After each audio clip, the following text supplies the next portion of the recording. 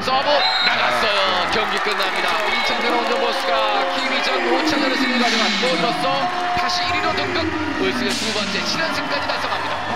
네, 안녕하세요. 고보TV 리포터 무법자 예, 한선수입니다. 대한항공이 오늘 승리로 단독 1위로 올라섰는데 정말 입대하기 전에 1위를 만들어 주셨네요. 소감부터 말씀해 주세요. 어, 아직 우리 카드 한 경기 남았기 때문에 1위라고 할 수 없고요. 저희가 남은 경기도 다 이겨서 네, 1위 할수 있도록 더 노력하겠습니다.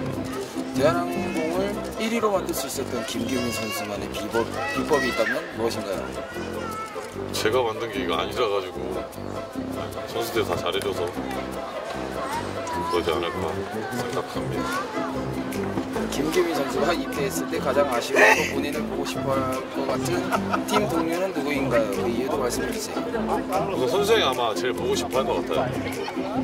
본인도 인정한 괴롭힐 사람이 없어가지고 때릴 사람도 없고 해가지고 어, 저를 가장 보고 싶어 하지 않을까 생각이 듭니다. 매일 이렇게 머리를 잡아 당기시잖아요.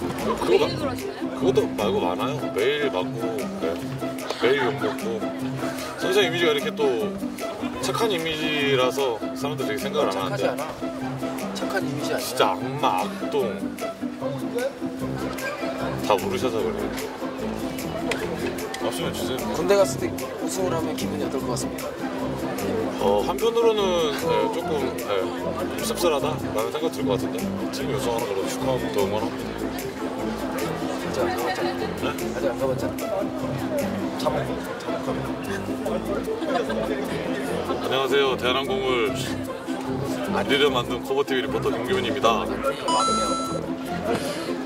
2만 명. 한 선수 한 선수 선수께서는 대한항공의 정규리그 우승을 우승 가능성을 몇 퍼센트라고 생각하나요? 그렇게 생각하는 이유도 말해주세요.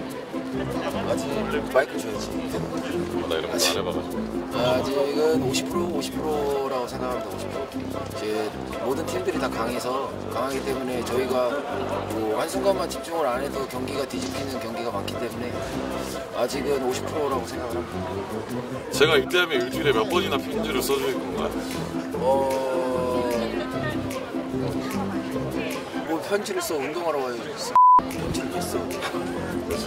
형은 나한테 써줄 거 오늘도 많은 팬분들이 경기장을 찾아, 찾아서 응원해 주셨는데 팬들에게 딱 한마디로 부탁드리겠습니다.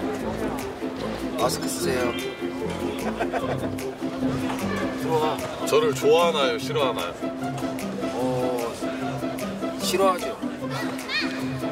바로 가끔 좋아하기도 하는데 시, 예, 대부분 싫어합니다. 신데레 해가지고